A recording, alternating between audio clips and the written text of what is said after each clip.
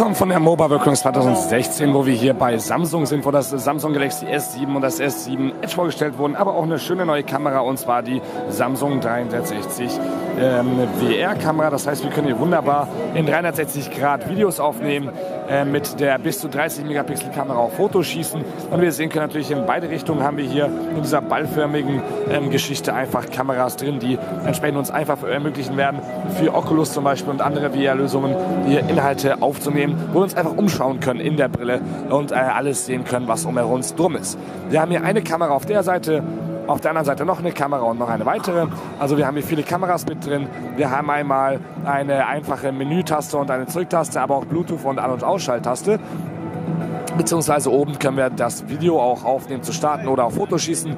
Ähm, hier haben wir ein bisschen noch ein Display, damit wir noch erkennen können, ich denke mal, wie viele, äh, wie viele ähm, Bilder und Videos wir noch machen können. Wir das Ganze auf der Seite aufmachen. Wir sehen können das Ganze auch hier schön ein bisschen wasserdicht gebaut mit den Gumminoppen. Ähm, können wir das Ganze einfach aufladen. Der Micro-SD äh, Micro kann natürlich den Speicher erweitern oder hier den ähm, Akku auch austauschen, der auch super groß ist.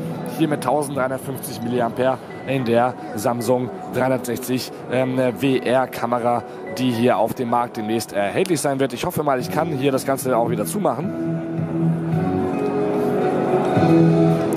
Bei den Prototypen. Per NFC können wir uns einfach verbinden. Und ich denke mal, den Standfuß, den können wir auch ganz einfach abdrehen. Ähm, und dann kann man jedes äh, Standard ähm, äh, Stativ hier dran drehen, aber auch das, was Samsung mitliefert, hier das ganz kleine, putzige, auch einfach wieder dran machen, mit dem man das auch ganz gut halten kann ähm, eigentlich. Und ja, einen Preis haben wir noch nicht. Das Ganze ist ein noch Prototyp, im Prototypstadium befindliche Gerät.